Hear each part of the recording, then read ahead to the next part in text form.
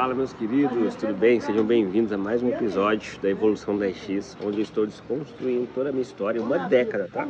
São 10 anos empreendendo na barbearia para a gente construir a nossa história junto. Eu quero te ajudar a evoluir 10 vezes mais em 2023.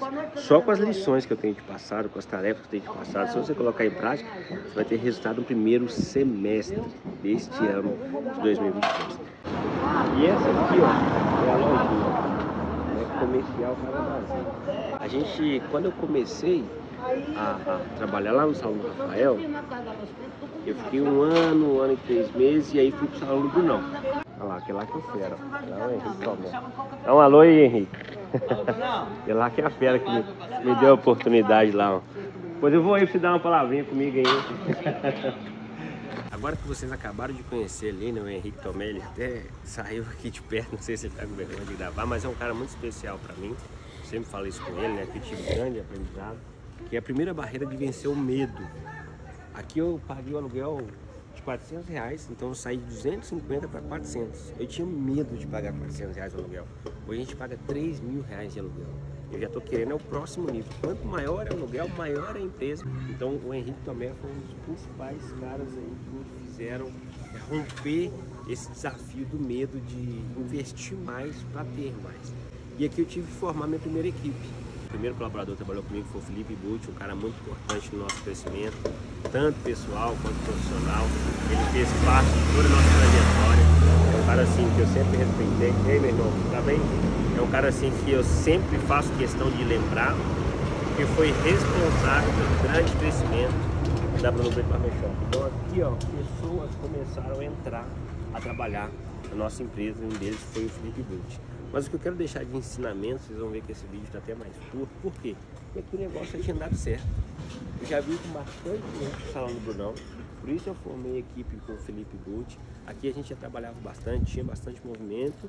Ó, coloquei um painel de madeira, comprei uma segunda cadeira, montei uma mesinha onde tinha um frigobar, um lavatório mais bonitinho, tinha um toalheiro, a gente colocava algumas bolas ali de decoração. Então o negócio já tinha dado certo. Quando eu preparei financeiramente para investir, foi quando eu fiz outros cursos. Eu falei assim, cara, eu preciso agora investir na estrutura eu preciso melhorar o visual. Eu falei com o Henrique, Henrique, já tem mais ou menos um ano, um ano e pouco, eu preciso reformar essa loja. Porque é o seguinte, ó, desde que a colônia existe, a loja tem essa característica. E essa loja ela é tombada, ela é um patrimônio histórico da colônia. O especial Casa Brasília existe desde quando a colônia fundou. Então eu já contei um pedacinho da história da colônia. A colônia de Santa Isabel, gente, é um lugar onde ficava concentrado todos os rancenianos. Aqui só podia entrar médicos e as pessoas que estavam sendo tratadas de rancenismo. Tinha corrente, tinha guarda. Foi um grande sofrimento aqui, mas tem uma história linda de superação também. E aos poucos é que foi tendo a oportunidade da gente é, entrar na colônia e viver aqui mesmo. Então hoje a colônia tem aqui, ó, em frente a gente aqui, mostra aqui então. Esse lugar azul aqui, ó, é o pavilhão das mulheres. Até hoje, né, tem as mulheres internadas aí que tratam de rancenismo, né? São cuidadas muito bem pela família, muito bem aqui pela nossa sociedade. E essa loja aqui, ó, eu falei, Henrique, eu preciso reformar. Ele falou, cara, eu não posso deixar você reformar, porque é uma loja tombada, é uma loja histórica, as características dela são originais. Desde quando a, a colônia foi fundada ali, quando a gente abriu essa loja, nunca mudou a fachada. Então, mais uma vez, o comodismo, a, a conformação com a situação atual bater na minha porta. Eu falando, pô, tô na avenida principal, tenho facilidade de parar carro, já tenho cliente, já tenho uma equipe, tô ganhando mais. Eu quero reformar a loja, mas eu não posso porque é um patrimônio histórico. Eu poderia muito bem falar assim, ah, então tá bom, vou ficar do jeito que eu tô deixo aqui para vocês o principal ensinamento. Não se conforme com a situação atual, mesmo que ela seja muito boa. Por que eu estou falando isso para vocês? Porque se você está preparado para investir, se você já viu, tem uma coisa que é intuição. Você já viu o resultado. Deus não permite você ver nada que você não possa alcançar.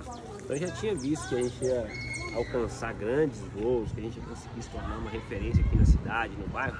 Eu falei, Henrique, então foi o seguinte, cara, eu vou finalizar o contrato de aluguel com você aqui, mas eu preciso caçar outra loja.